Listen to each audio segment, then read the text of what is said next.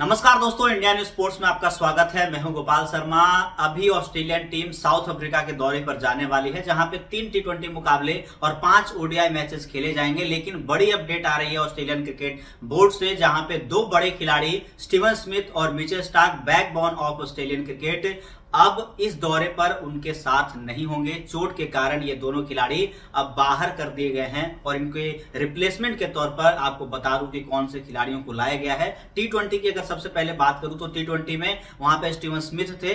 Mitchell Starc नहीं थे तो वहाँ पे एस्टन टर्नर आपको देखने को मिलेंगे। और इस जो टीम की अगर कप्तानी की बात करूँ तो वहाँ पे मिचेल मार्क्स कमान संभालते हुए नज़र आएँगे। वहीं अगर ओडीआई की बात करूँ, जहाँ पे अगर ओडीआई की टीम में दो खिलाड़ी मौजूद थे, वहाँ पे स्टीवन स्मिथ थे और मिचेल स्टार्क थे तो दोनों के रिप्लेसमेंट आपको बता दो, स्टीवन स्मिथ की जगह शामिल किया गया है मानस लाबुसैन को।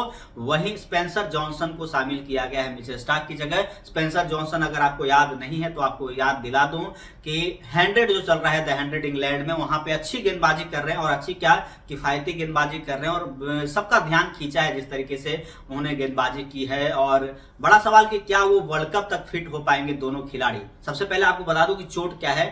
कलाई में जिस तरीके से चोट लगी थी स्टीवन स्मिथ को और डॉक्टर्स ने तीन हफ़्ते का उनको रेस्ट करने के लिए बोला है और उम्मीद है कि जल्दी वो स्वस्थ होंगे और वापसी करते हुए नज़र आएँगे। वहीं मिचे स्टाक की अगर बात करूँ तो मिचेल स्टाक को कमर में दर्द था और वो एसएस के दौरान ही था।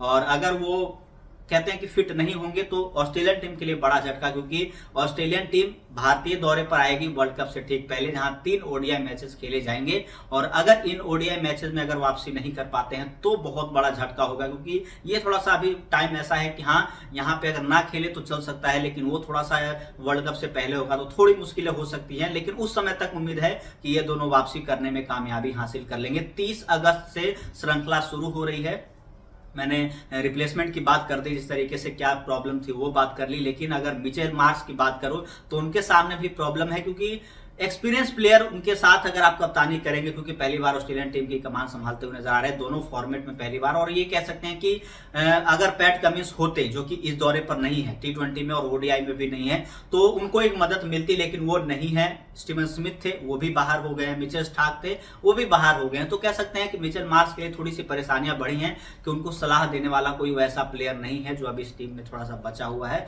तो उम्मीद करते हैं कि जिस तरीके से दोनों बाहर हुए हैं, ऑस्ट्रेलियन टीम के लिए बड़ा झटका, लेकिन उम्मीद है कि टाइम पीरियड ज़्यादा ना हो और फिट हो जाए कब? वर्ल्ड कप से पहले जो भारतीय दौरा है और वहाँ तक बिल्कुल उम्मीद है कि फिट होकर उस सीरीज़ में वापसी करते हुए नज़र आएँगे। तो फ़िलहाल इस वीडियो में इतना ही। अगर आपको पसंद आया है तो वीडियो को लाइक और चैनल को सब्सक्राइब ज़रूर कर लीजिएगा। धन्यवाद।